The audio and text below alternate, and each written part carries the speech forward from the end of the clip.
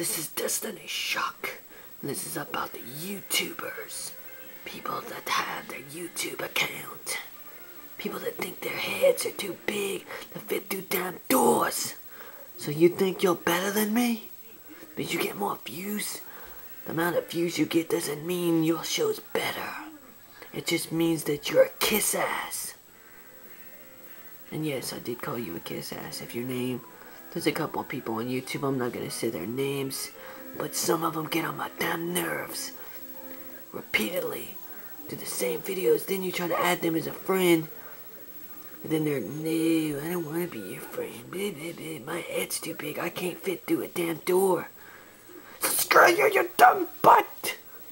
I'll punch you in the damn face! I don't like you. I don't like you. But that ain't the reason why I don't like you. I don't like you because I just don't. I'm not a fan.